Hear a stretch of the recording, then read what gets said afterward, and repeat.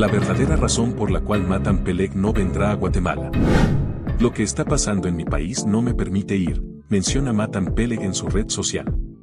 El seleccionado guatemalteco había sido convocado por el técnico mexicano Luis Fernando Tena para los partidos ante Trinidad y Tobago y Panamá.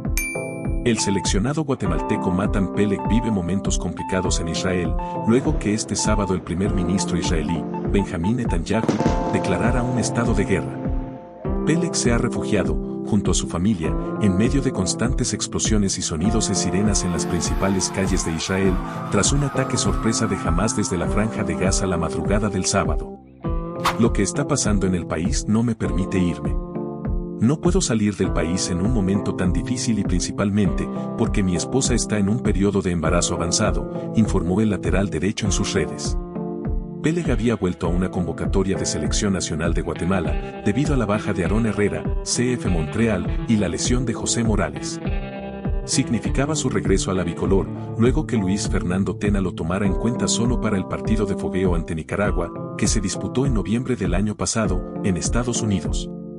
En esa ocasión Peleg fue titular y disputó todo el partido. Matan Peleg se une a las bajas confirmadas de Aarón Herrera, Marlon Renato Sequen, lesión, y Carlos Mejía, suspensión, para el juego de Guatemala ante Trinidad y Tobago, del próximo 13 de octubre. Peleg Herrera y Sequen también se perderán el partido ante Panamá.